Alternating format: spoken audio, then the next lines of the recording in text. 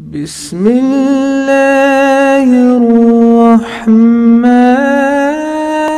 الرحيم.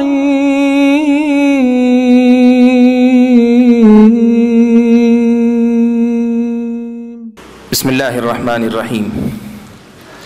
الحمد لله رب العالمين والصلاة والسلام على أشرف الأنبياء والمرسلين وعلى آله وأصحابه أجمعين. ومن تبعهم بإحسان إلى يوم الدين. أما بعد. قال الإمام البخاري رحمه الله باب بيع الخادم من الأعراب. الادب المفرد میں ہماری اپنی زندگی کے مختلف جو معاملات ہیں، ان معاملات سے متعلق جو آداب اسلام نے ہم اور آپ کو سکھائے ہیں، وہ آداب ہم لوگ سنتے آ رہے ہیں۔ ہماری اپنی گفتگو چل رہی ہے۔ غلاموں کے ساتھ معاملہ کرنے کے آداب، یا غلام نہ ہوں تو نوکر یا خادم، گھر کی خادمہ، یا کسی بھی جگہ پہ ہمارے ہاں کام کرنے والے یا کام کرنے والیاں جو ہوتی ہیں، ان کے ساتھ معاملہ کرنے کے آداب اور اصول۔ اب تک دو بنیادی مسئلے ہم نے سنے اور سمجھے ہیں۔ پہلا مسئلہ یہ تھا کہ اللہ تبارک و تعالی ہم اور آپ کو اپنے خادموں کے ساتھ بہتر سلوک اچھا سلوک کرنے کا حکم دیتے ہیں۔ اور دوسری بات ہم نے یہ سنی کہ برا سلوک کرنے سے اسلام منع کرتا ہے۔ وہ گرچہ آپ کے ماتحت ہیں، آپ کے ایک طرح سے دنیاوی اعتبار سے مجبور نظر آتے ہیں آپ کے سامنے۔ لیکن آپ ان کی مجبوری کا غلط مطلب نہ لیں، آپ ان کی مجبوری کا غلط فائدہ نہ اٹھائیں، ان کے ساتھ حسن سلوک کرنا، یہ آپ کے اچھے مسلمان ہونے کی علامت ہے اور اللہ تعالیٰ کے اچھا بندہ ہونے کی علامت ہے۔ آج جو عنوان ہم لوگوں نے مقاد سنا، یہ عنوان یہاں سے غلاموں سے متعلق مختلف آداب یا نوکروں سے متعلق مختلف آداب کا سلسلہ شروع ہونے جا رہا ہے۔ امام بخاری نے آج کا جو عنوان مقرر کیا ہے، یا آج جو باب ہم پڑھنے جا رہے ہیں، اس کا عنوان ہے، خادم کو، یا اپنی لونڈی کو، یا اپنے غلام کو کسی بدو کے ہاتھوں بیچ دینا کیسا ہے۔ العراب کہتے ہیں، بدو قریے والے۔ اور قریے والے کا مطلب یہ ہے قرآن میں خود اللہ تعالیٰ نے بتایا کہ یہ لوگ مزاج کے بڑے سخت ہوتے ہیں۔ ان لوگوں کے اندر تہذیب کم ہوتی ہے اور ان کے اخلاق کے اندر حسن سلوک کا مادہ کم ہوتا ہے۔ قریے والے، خاص طور پہ عرب کے جو بدو تھے، وہ تہذیب سے زیادہ دور تھے۔ قرآن میں اللہ تبارک و تعالیٰ نے یہاں تک الاعراب و اشد و کفر و نفاق کہا کہ جو ہے، نفاق اور کفر کا معاملہ بھی اگر ہو تو اس میں جو بدو ہوتے ہیں، بدو ہوں اور کافر ہوں، بدو ہوں اور منافق ہوں، تو ان کا کفر بھی زیادہ شدید ہوتا ہے اور ان کا نفاق بھی بہت زیادہ شدید ہوتا ہے۔ تو یہاں اس باب میں جو امام بخاری رحمۃ اللہ علیہ مسئلہ بیان کرنا چاہتے ہیں، یہ دراصل اپنے غلاموں یا اپنی لونڈیوں کے ساتھ برا سلوک کرنا کیا ہر حال میں منع ہے یا کبھی ان کے ساتھ ایسا کوئی معاملہ کیا جا سکتا ہے؟ جس معاملے میں بظاہر ان کے ساتھ سختی ہو رہی ہے۔ میں اس باب میں ذکر کی گئی ایک ہی حدیث ہے، پہلے وہ حدیث پڑھ لیتا ہوں، پھر اس کے بعد اس حدیث کی روشنی میں کئی ایک اہم مسائل ہیں جو آج ہمارے سماج کے مسئلے ہیں۔ ان کی طرف جو ہے ذرا توجہ آپ کی پھیرنا چاہوں گا۔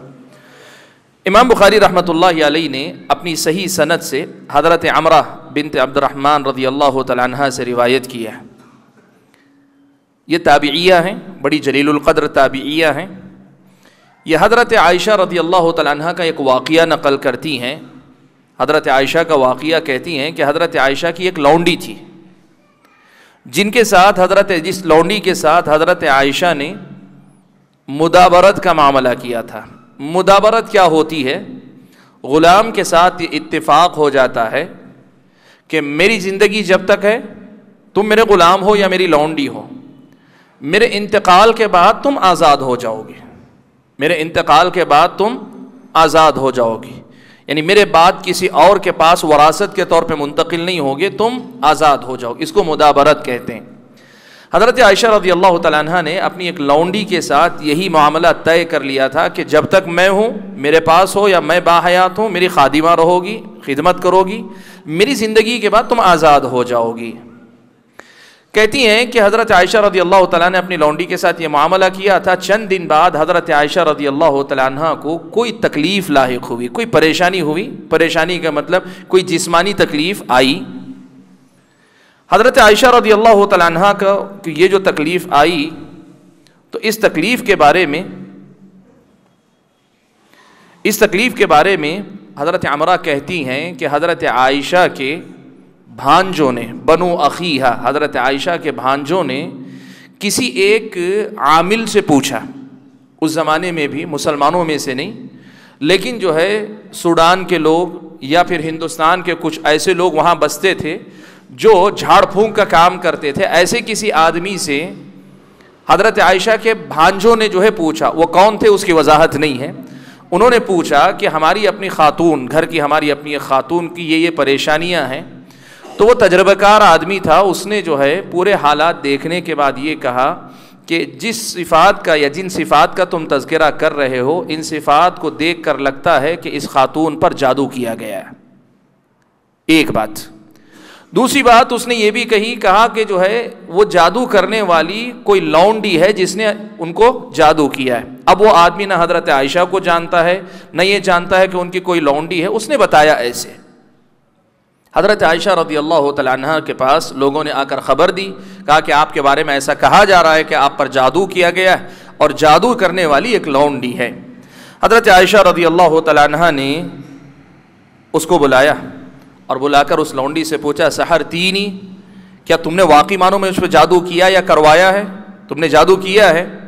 فقالت، نعم، لونڈی نے اقرار کر لیا کہ ہاں۔ کیا مسئلہ تھا؟ اس لیے کہ حضرت عائشہ نے یہ کہا تھا کہ میری انتقال کے بعد تم آزاد ہو جاؤ گی۔ تو اس نے کہا، جب ان کے انتقال سے مجھے آزادی ملنے والی ہے، تو جادو کر کے جلد سے جلد ان کو دنیا سے بھیج دیا جائے۔ یہ مقصد تھا اس کا۔ اس نے اعتراف کر لیا کہ ہاں۔ فقالت، حضرت عائشہ رضی اللہ تعالیٰ عنہ نے، حضرت عائشہ رضی اللہ تعالیٰ عنہ نے اس سے پوچھا کہ، ولیمہ، کیوں تو نے جادو کیا؟ قال، مجھے یہ لگا کہ آپ ابھی کم عمر ہیں۔ جب تک آپ کی موت آئے گی، تب تک مجھے جو ہے کبھی نجات نہیں ملے گی آپ سے۔ اگر آپ وقت سے پہلے چلی گئی یعنی جلدی انتقال ہو گیا آپ کا، تو پھر مجھے آپ سے نجات مل جائے گی، اس لیے میں نے یہ کیا ہے۔ تو حضرت عائشہ رضی اللہ تعالیٰ عنہ نے کیا کیا؟ کہا کہ کام کرو، اس لونڈی کو لے جاؤ اور عرب میں غلاموں کے ساتھ برا سلوک کرنے میں کوئی آدمی مشہور ہو تو اس آدمی کے ہاتھوں اسے بیچ دو۔ غلاموں کے ساتھ برا سلوک کرنے والا کوئی ہو، اس آدمی کے ہاتھ اس لونڈی کو بیچ دو۔ یہ واقعہ صحیح سند کے ساتھ ہے۔ حضرت عائشہ رضی اللہ تعالیٰ عنہ کا، ان کی لونڈی کا واقعہ۔ حضرت عمرہ بنت عبد الرحمن انصاریہ اس واقعے کی راویہ اس واقعے سے جو مسئلہ امام بخاری رحمۃ اللہ علیہ بتانا چاہتے ہیں، وہ مسئلہ یہ ہے، غلاموں کے لونڈیوں کے ساتھ معاملہ کرنے کے تفصیلی احکام کی شروعات ہے تو یہ بتانا چاہتے ہیں کہ آپ اپنی طرف سے کوشش کرتے ہیں کہ آپ اچھا سلوک کریں۔ آپ اپنی طرف سے کوشش کرتے ہیں کہ آپ کی طرف سے ان کو تکلیف نہ پہنچے۔ لیکن آپ کی طرف سے کوشش ہونے کے بعد اگر غلام آپ کی شرافت کا، آپ کی اچھائی کا غلط فائدہ اٹھا رہا ہے، یا پھر یہ کہ وہ جو ہے آپ کی اس حسن سلوک کی قدر نہیں کر رہا ہے اور آپ کے ساتھ کسی بھی حیثیت سے بدسلوکی کر رہا ہے تو پھر ایسے بدسلوکی کرنے والے غلام کے ساتھ جواب میں بدسلوکی کرنا۔ شرط یہ کہ اس کی بدسلوکی سے زیادہ بڑی بدسلوکی نہ ہو۔ تو ایسی صورت میں اسلامی شریعت کی نظر میں آپ کی بدسلوکی یا آپ کا اسے اس قسم کی سزا دینا یہ جائز ہے۔ یہ کرنے پر آپ اللہ کی نظر میں برے مالک نہیں قرار پائیں گے، آپ برا سلوک کرنے والے قرار نہیں پائیں گے۔ یہ مسئلہ ہے جو اصل امام بخاری رحمۃ اللہ علیہ بتانا چاہتے ہیں۔ باب مقرر کیا کہا، باب الخادم من الاعراب۔ اپنے نوکر کو یا اپنے غلام کو کسی بدو کے ہاتھ بیچ دینا کیسا ہے؟ تو کہا، اگر اس نے تمہارے ساتھ ایسی بدسلوکی کی ہے کہ جس بدسلوکی کے بدلے میں اسے کسی ایسے بدو کے ہاتھ بیچنا جو اس کے ساتھ برا سلوک کرے، اگر وہ چھوٹا معاملہ ہو، اس سے کم تر درجے کا اس کے ساتھ معاملہ ہو، تو ایسا کرنے میں کوئی حرج نہیں، جائز ہے۔ ہاں شریعت اسلامیہ یہ ضرور کہتی ہے کہ جو ہے افو درگزر کرنا یہ بہتر ہے۔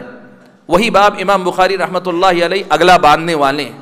لیکن پہلے درجے میں یہ کہ اگر آپ اچھا سلوک اپنی طرف سے کر رہے ہیں، جیسے حضرت عائشہ نے کیا نا، کوئی ضروری نہیں تھا۔ لیکن حضرت عائشہ نے یہ حسن سلوک کیا، کہا مدابرت کی، کہا، میری زندگی کے بعد تم آزاد ہو سکتی ہو۔ یہ حضرت عائشہ کو حسن سلوک تھا۔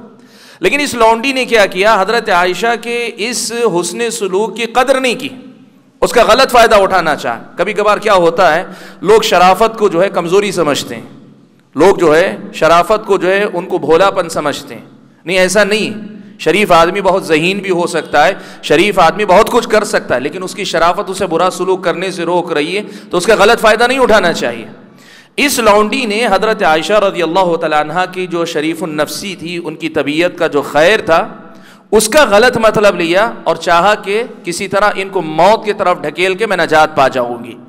اسی لیے حضرت عائشہ نے جواب میں اس کے ساتھ یہ معاملہ کیا، کہا کہ اسے کسی ایسے بدو کے ہاتھ بیچو جو اس کے ساتھ اس کے برابر کا معاملہ کرے۔ یہ شریر ہے، یہ احسان کی قدر نہیں کرتی ہے، یہ اچھائی کو پہچانتی نہیں۔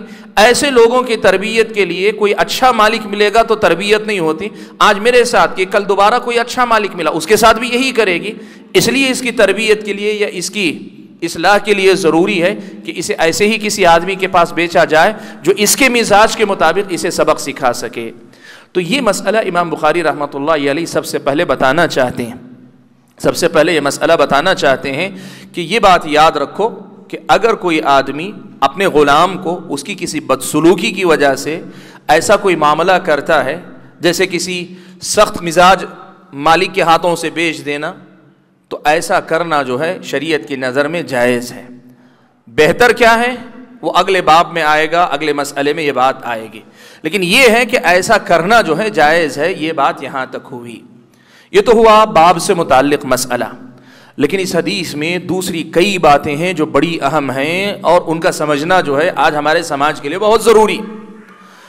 ان میں سے سب سے پہلی بات یہ ہے کہ جادو برحق ہے۔ جادو جسے کہتے ہیں اور جادو کی تاثیر یہ حقیقت ہے۔ دنیا میں کسی بھی انسان کے اندر خود اپنی مرضی سے طاقت پہنچانے کا پورا اختیار اللہ نے نہیں دیا۔ آپ کا دشمن بھی آپ کو مار دینا چاہے گا، مار نہیں سکتا جب تک اللہ کی مرضی نہ ہو۔ لیکن دشمن کے برے ارادے کے ساتھ اللہ کی اگر مرضی ہو تو آپ کا دشمن آپ کا نقصان کر سکتا ہے، آپ کو مار سکتا ہے، آپ کا ہاتھ پیر توڑ سکتا ہے، آپ کا برا بھلا کر سکتا ہے، آپ کو سماج میں بدنام کر سکتا ہے، کسی بھی قسم کے جادو کی حقیقت بھی ایسی ہے کہ اللہ تعالیٰ نے کہا کہ اللہ بزن اللہ، وہ کسی کا کوئی نقصان نہیں کر سکتے، جو جادوگر ہیں، جو جن ہیں، جو فلاں ہیں۔ لیکن برے ارادے سے وہ جو کوشش کرتے ہیں اگر ان کے برے ارادے کے ساتھ اللہ کی اجازت اور اللہ کی مرضی شامل ہو جائے، تو پھر وہ انسانوں کو تکلیف دے سکتے ہیں۔ جادو کی حقیقت یہی ہے کہ جادوگر جسے کہتے ہیں، چاہے وہ خود کریں یا کسی کے کرا کہنے پر کریں، جادوگر اگر کوئی ایسا کوئی کام کرتا ہے، تو جادو کا اثر ہونا یہ برحق ہے۔ نئے زمانے کے اندر بہت سارے ایسے لوگ ہیں جو یہ سمجھتے ہیں کہ جادو کو ماننا گویا جو ہے اسلامی شریعت کی نظر کی مخالفت کرنا ہے۔ نہیں، جادو کی حقیقت کا انکار کرنا یہ گمراہ فرقوں کی نشانی معتزلہ انکار کرتے ہیں، عقل پرست لوگ اس کا انکار کرتے ہیں۔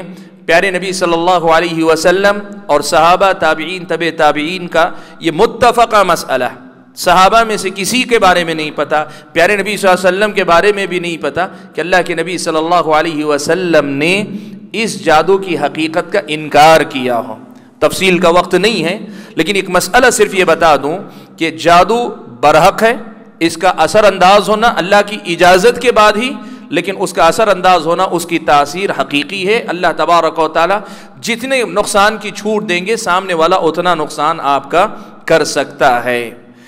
البتہ دوسرا مسئلہ یہ ہے کہ کیا جادو کے علاج کے لیے کسی عامل، کامل فلاں کے پاس جانا ضروری ہے؟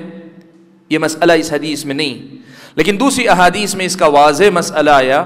سماج کا یہ تصور سب سے پہلے غلط ہے کہ جادوگر کا کوئی جادو ہو یا کسی جن کا، بھوت پریت کا کوئی اثر ہو، تو اس کا یہ مطلب نہیں ہے کہ آدمی جا کر جو ہے کسی اور کے پاس رقیہ کروائے تبھی شفا ملے گی۔ نہیں۔ علاج آدمی سب سے پہلے خود اپنا کرنا سیکھے۔ آدمی کا مضبوط ایمان، آدمی کی دین کی پابندی، نمازوں کی پابندی، پاکی اور صفائی کا اہتمام، اذکار کا اہتمام، یہ سب وہ دروازے ہیں جہاں سے آپ جن اور شیطان کو خود بھگا سکتے ہیں۔ آپ اس حقیقت کو سمجھیے۔ ہمارے سماج کا ایک بہت بڑا المیہ یہ ہے کہ آج یہ جادو کا اثر کسی پر اگر ہے بھی وہ یہ تصور کر لیتے ہیں کہ مولانا اگر رقیہ کریں گے تبھی اثر ہوگا۔ ایسا کوئی مسئلہ نہیں، شریعت نے نہیں کہا کہ فلاں کریں گے تبھی اثر ہوگا۔ آپ اپنی حفاظت کیجیے، اپنا علاج خود کیجیے۔ سب سے پہلے آپ کا توکل، آپ کا سب سے پہلا علاج، ایمان اور آپ کا توکل، آپ کا علاج۔ آپ کی نمازیں، نمازوں کی پابندی، یہ آپ کا علاج۔ آپ کی پاکی صفائی، یہ آپ کا اپنا علاج ہے۔ اور آپ کا اذکار کی پابندی کرنا مختلف اوقات میں جو اذکار اللہ کے نبی نے سکھائے ان کی پابندی کرنا یہ آپ کا علاج ہے اور ان سب سے آگے بڑھ کر خود دعا کرنا۔ اللہ تعالیٰ سے بکثرت دعا کرنا۔ آپ کو پتہ ہے پیارے نبی صلی اللہ علیہ وسلم پر جادو ہوا تھا، تو اس کا علاج کیسے ہوا پتہ ہے؟ اللہ کے نبی نے، کسی نے اللہ کے نبی کے نام پہ رقیہ نہیں کیا۔ اللہ کے نبی صلی اللہ علیہ وسلم خود پڑھتے تھے، قل اعوذ برب الفلق، قل اعوذ برب الناس۔ لیکن حدیث میں اللہ کے نبی نے خود بیان کیا کہ اللہ کے نبی نے خوب دعا کی۔ خوب دعا کی۔ اللہ تبارک و تعالیٰ نے اس دعا کے اثر سے اللہ کے نبی کو شفا دی۔ ان سب چیزوں کے بعد بھی اگر ضرورت پڑتی ہے تو کبھی کسی سے رقیہ آدمی کروا لے تو ٹھیک۔ جائز ہے اسلامی شریعت کی نظر میں۔ رقیہ حرام نہیں، رقیہ جائز ہے۔ لیکن جو تصور سماج میں بن گیا ہے کہ جیسے بیماری ہوئی تو ڈاکٹر کے پاس جانا ضروری ہے، اس کے گئے بغیر شفا نہیں ملتی۔ لوگ سمجھتے ہیں اگر کوئی روحانی تکلیف کہتے ہیں لوگ، جن بھوت پریت کا کوئی معاملہ ہو، تو جب تک کسی مولانا کے پاس، کسی عامل کے پاس، کسی جو ہے، جھاڑ پھونک کرنے والے کے پاس جائیں گے نہیں، شفا نہیں ہوگی۔ اور ایک نفسیاتی بیماری بن گئی۔ توہم پرستی کا مزاج بن گیا ہمارا۔ ایسی ایسی باتیں آج معاف کریں، توحید کا نام لینے والے ہم اہل حدیث بھائیوں کے اندر بھی آ گئی ہیں۔ اللہ حفاظت فرمائے۔ یاد رکھیں، سب سے پہلے خود اپنا علاج کرنے کی بات کریں۔ میں عائشہ صدیقہ رضی اللہ تعالیٰ عنہ کا معاملہ دیکھیں، حضرت عائشہ رضی اللہ تعالیٰ عنہ پر جادو ہوا، یہ حقیقت ہے۔ اس کے بعد جو حدیث میں ذکر آیا، حضرت عائشہ کے کچھ بھانجے، بنو عقیہ بھانجے، کیا یہ سگے بھانجے تھے؟ یا رشتے کے کوئی بھانجے تھے، اس کی وضاحت حدیث میں نہیں آئی ہے۔ یعنی حضرت ابو بکر کے بیٹے تھے یا خالہ زاد، چچا زاد کوئی خاندان کے دوسرے بھائی بھانجے، کسی نے جا کر اس آدمی سے پوچھا تھا، یہاں بہت اہم سوال ہے، بڑا ہی اہم سوال ہے کہ کیا جن جادو کے اثرات کے لیے کسی سے جا کر پوچھا جا سکتا ہے کہ میرے مجھ پر اثر ہوا ہے، کیا آپ بتائیے دیکھ کر؟ اہل علم نے یہ بات صاف لفظوں میں لکھی ہے کہ اس قسم کے سوالات کرنا اسلامی شریعت کی نظر میں درست نہیں ہے۔ آپ جا کر کسی عامل سے پوچھ رہے ہیں، کسی جو ہے معالج سے پوچھ رہے ہیں کہ آپ بتائیے کہ مجھ پہ کوئی جن کا اثر ہے، کوئی جادو کا اثر ہے، یہ جائز نہیں۔ کیوں جائز نہیں ہے؟ اس لیے کہ یہ غیب کی ایک بات، یہ غیب کی بات ہے۔ اگر آپ بتاتے ہیں تو یہ تجربے کا مسئلہ نہیں ہے کہ میرے تجربے کی روشنی میں میں کہہ رہا ہوں کہ آپ کو جادو ہوا ہے۔ یہ تجربے کا معاملہ نہیں غیب کا معاملہ۔ اس معاملے میں آپ کے پاس ایسی کوئی حجت، کوئی دلیل نہیں جس کی بنیاد پہ آپ یقینی طور پہ بتا سکیں۔ جیسے ڈاکٹر ہے۔ چیک کرتا ہے، انسانی جسم کی کچھ بنیادی ضرورتیں ہیں۔ طبیعت کا جائزہ لینے کے بعد بتا سکتا ہے کہ آپ کے مزاج میں تھوڑی گرمی زیادہ ہو گئی ہے یا سردی کا مادہ زیادہ ہو گیا سفرہ بڑھ گیا ہے، بلغم بڑھ گیا ہے، خون میں کمی آ گئی۔ یہ چیزیں بتائی جا سکتی لیکن جن جادو کے مسئلے میں آدمی اگر کہتا ہے، نہیں، میرے تجربات سے مجھے پتا ہے۔ شیخ البانی رحمۃ اللہ علیہ نے بڑی پیاری بات لکھی۔ شیخ البانی رحمۃ اللہ علیہ نے ایک بات لکھی ہے کہ اگر کوئی آدمی جا کر پوچھنے والا ہی نہیں اگر جو علاج کرنے والا آدمی، وہ علاج کرنے والا آدمی اگر جن سے پوچھتا ہے، جو جن اس بیمار کی زبانی بول رہا ہے، اس سے سوالات کرتا ہے، اس سے یہ پوچھتا ہے کہ کس نے جادو کروایا، کیوں کروایا؟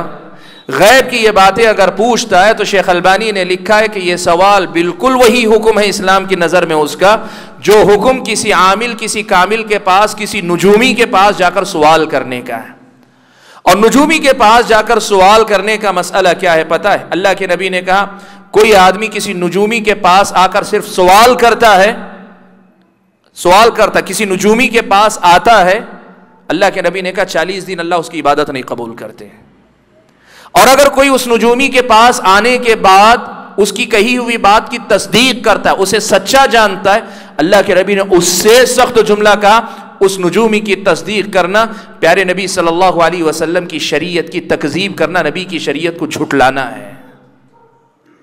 شیخ البانی رحمۃ اللہ علیہ نے لکھا ہے کہ یہ جو معالجین، جو آدمی شکایت میں مبتلا ہے، اس سے جو یہ سوال کرتے ہیں، کس نے کروایا؟ یہ تم پر جادو کس نے کروایا؟ کس نے تم کو بھیجا؟ ہے یہ سب سوالات کرنا، یہ جو ہے عین نجومی کے سوالات ہیں اور یہ عین کہانت ہے، اس کی اجازت اسلامی شریعت نے نہیں دی۔ اور یہ حقیقت ہے، آپ دیکھیں، سلف صالحین، پیارے نبی صلی اللہ علیہ وسلم کے پاس کچھ صحابہ آئے، جن کو اللہ کے نبی نے رقیہ کیا۔ حضرت عثمان بن طلحہ کا اللہ کے نبی نے رقیہ کیا۔ ایک خاتون جنگ تبو کے موقع پہ اپنے چھوٹے بچے کو لے کر آئی، اللہ کے نبی نے ان کا رقیہ کیا۔ کئی واقعات ملیں گے جہاں اللہ کے نبی نے جو ہے رقیہ کیا، یا اللہ کے نبی صلی اللہ علیہ وسلم نے شیطان کو نکل جانے کا حکم دیا، لیکن اللہ کے نبی نے شیطان سے یہ نہیں پوچھا، کس نے کروایا، کیوں آئے، کہاں سے آئے، تفصیلات اللہ کے نبی نے نہیں پوچھی۔ صحابہ کرام رضوان اللہ تعالی مجمعین کے علاج کرنے کا یہ طریقہ نہیں تھا۔ ہاں شیخ الاسلام ابن تیمیہ رحمۃ اللہ علیہ نے ایک بات لکھی۔ وہ کیا ہے؟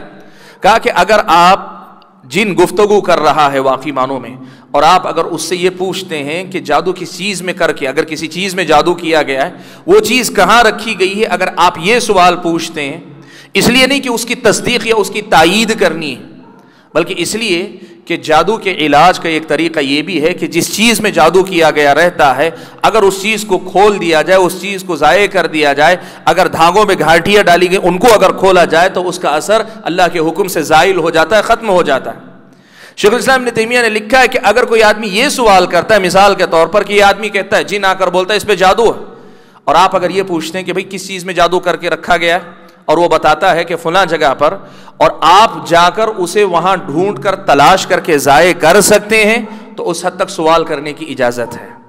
لیکن اس سے آگے بڑھ کر کس نے کروایا، کیوں کروایا، وہ کس کی شکل میں نظر آتا ہے؟ لوگ تو یہاں تک پوچھتے ہیں کہ اللہ کے بندوں کو اللہ ہدایت دے، علاج کرنے والے بیمار سے یہ پوچھتے ہیں، دیکھو تمہارا کوئی رشتہ دار نظر آ رہا ہے کیا؟ جن سے تمہاری لڑائی ہے، ان میں سے کوئی نظر آ رہا ہے کیا؟ جن سے تمہارے تعلقات نہیں، کون؟ اگر کوئی نظر آتے ہیں تو قریب بلاؤ، چہرہ دیکھو، وہ تمہارے کون ہیں؟ وہ برقے میں ہیں، وہ داڑھی والے کون ہیں؟ یہ سب نجومی کے کام ہیں، یہ اہل اسلام کا طریقہ نہیں ہے۔ شیخ شیخ البانی رحمۃ اللہ علی نے کہا، یہ کہانت کا ایک باب ہے، یہ نجومی کے کاموں میں سے ایک کام ہے۔ تو اس لیے حضرت عائشہ صدیقہ رضی اللہ تعالیٰ عنہ نے وہ جو بات آئی، اس کی حضرت عائشہ نے تائید نہیں کی۔ حضرت عائشہ نے خبر دینے والے لوگوں کی تائید نہیں کی۔ حضرت عائشہ نے کیا کیا پتا ہے لونڈی کو بلایا اور بلا کے لونڈی سے پوچھا۔ صرف ان لوگوں کی کہی ہوئی بات پہ حضرت عائشہ نے تسلیم کر کے تائید نہیں کی کاروائی نہیں کی۔ لونڈی کو بلا کر پوچھا، کہا کہ کیا تو نے مجھ پر جادو کیا ہے؟ اس لونڈی نے جب اقرار کیا، تب حضرت عائشہ نے اس کا معاملے کی تائید کی۔ ورنہ آپ، ایک عجیب معاملہ میں نے ایسے ہی کچھ لوگوں سے بات کی، سمجھایا تو انہوں نے ایک بڑی عجیب بات کہی، وہ آپ کے سامنے رکھنا ضروری ہے۔ کہنے لگے کہ جو ہے وہ کیسے جھوٹ ہو سکتا ہے؟ وہ تو قرآن کی آیتیں پڑھنے پہ نظر آتا ہے نا۔ عامل قرآن کی آیتیں پڑھتے ہیں، رقیہ کرنے والا رقیہ کرتا ہے تو جن جو نظر آتا ہے، جو جو منظر دکھائی دیتا ہے یا آدمی نظر آتا ہے، قرآن کی آیتیں پڑھنے کے بعد دکھائی دینے والا جھوٹ کیسے ہو سکتا ہے؟ اگر میں نے میرے رشتہ دار کو دیکھا تو اسی نے جادو کروایا ہے۔ یاد رکھیں، حضرت عائشہ صدیقہ رضی اللہ تعالیٰ عنہ کی اس روایت سے یہ بات معلوم ہوتی، حضرت عائشہ نے جو خبر آئی، جو بتایا گیا، اس کی تصدیق نہیں کی۔ حالانکہ تصدیق کرنے کے بہت امکانات تھے۔ اس لیے کہ جس سے پوچھا گیا، اسے نہیں معلوم کہ حضرت عائشہ کون ہے اسے یہ بھی نہیں معلوم کہ حضرت عائشہ کی کوئی لونڈی ہے۔ لیکن بتانے والا یہ بتا رہا ہے کہ یہ خاتون کے جو آثار ہیں، نشانیاں ہیں، حضرت عائشہ نہیں گئی تھیں۔ پوچھنے والے نے ایسے ہی پوچھ لیا تھا۔ اس نے جتنی باریکی سے بتایا کہ اس خاتون پہ جادو ہوا ہے اور جادو کرنے والی ایک لونڈی ہے، اتنی تفصیلات بتائی کہ بظاہر اس کی بات کو سچا ماننے کے پورے امکانات تھے۔ لیکن حضرت عائشہ نے اس کی تائید نہیں کی۔ حضرت عائشہ نے اس کی تائید نہیں کی۔ حضرت عائشہ نے کیا کیا؟ بلا کر لونڈی سے پوچھا۔ اور لونڈی نے جب یہ کہا کہ ہاں میں نے جادو کیا ہے، تب حضرت عائشہ نے اس سے پوچھا۔ کیوں کیا؟ اس نے کہا کہ مجھے آپ سے بچ کے نکلنا تھا۔ اسی لیے میں نے یہ کیا۔ حضرت عائشہ صدیقہ رضی اللہ تعالیٰ نے تب اس لونڈی کو ڈانٹا، ڈپٹا اور اس کے بعد اسے کہا کہ اس کے ساتھ ایسا ہی کوئی مالک ہونا چاہیے جو اس کے برابر سلوک کرے تاکہ اس کو سیدھا کیا جا سکے۔ تو معلوم یہ ہوا، باپ کا جو مسئلہ ہے، جو عنوان تھا، وہ تو سمجھ میں آیا کہ اگر کوئی خادم آپ کے حسن سلوک کا غلط مطلب لے رہا ہے آپ کے پاس نوکری کرنے والا آپ کے بہتر سلوک کا کوئی غلط فائدہ اٹھا رہا ہے، تو آپ اگر اس کے ساتھ، اس کے برابر کا یا اس کی غلطی سے ذرا چھوٹا معاملہ کرتے ہیں اسلامی شریعت آپ کو اس کی اجازت دیتی ہے۔ آپ کو اس کی اجازت ہے۔ جیسے حضرت عائشہ نے بدو، کسی بدوؤں میں سے کسی بدو کے ہاتھ بیچ دینے یا عرب میں سے جو اپنے غلاموں کے ساتھ بدسلوکی کرنے میں مشہور ہیں، ان لوگوں کے ہاتھ بیچ دینے کا اللہ حضرت عائشہ نے حکم دیا، ایسا آپ کر سکتے ہیں۔ لیکن یہاں بھی اہل علم نے لکھا ہے کہ شریعت کا یہ ضابطہ ہمیشہ رہے گا، جس کی تفصیلات بعد میں آئیں گی کہ کبھی ایسا نہیں ہونی چاہیے کہ سزا غلطی سے بڑی ہو، یہ غلطی ہم سے کبھی نہیں ہونی چاہیے۔ سزا غلطی کے برابر ہو یا غلطی سے چھوٹی ہو، لیکن غلطی سے بڑی سزا ہم نہ دیں، یہ حضرت، یہ اسلامی شریعت مجھ کو اور آپ کو سکھاتی ہے یہ مسائل انشاءاللہ اگلے درس میں آئیں گے۔ تو شریعت نے یہ کہا کہ غلام پر یا لونڈی پر یا جو ہے خادم پر اگر آپ جوابی کاروائی کرتے ہیں، جائز ہے۔ شرط یہ ہے کہ اس کے گناہ یا اس کی غلطی کے برابر یا اس سے کمتر ہو، اس سے بڑا نہ ہو آپ کا سلوک۔ اور دوسری چیز یہ کہ یہاں بھی معاف کر دینا بہتر ہے، جیسے اگلا باب ہمارے سامنے آئے گا۔ اور اگر آپ جو ہے بدسلوکی کی سزا دے بھی رہے ہیں، تو آپ اس سے بڑی سزا نہ دیں، اس کی وضاحت اگلے باب کے اندر آئے گی۔ اللہ سے دعا کیجیے کہ اللہ تبارک و تعالیٰ مجھے اور آپ سبھی لوگوں کو اپنی لونڈیوں، غلاموں کے ساتھ اگر وہ زمانہ ہو یا اپنے گھر کے نوکر چا کر اور اپنے گھر کے اندر کام کرنے والی خادمائیں، خادم، ان سب کے ساتھ حسن سلوک کرنے کی ہمیں توفیق عطا فرمائے۔ آمین۔ و آخر دعوانا الحمد للہ رب العالمین۔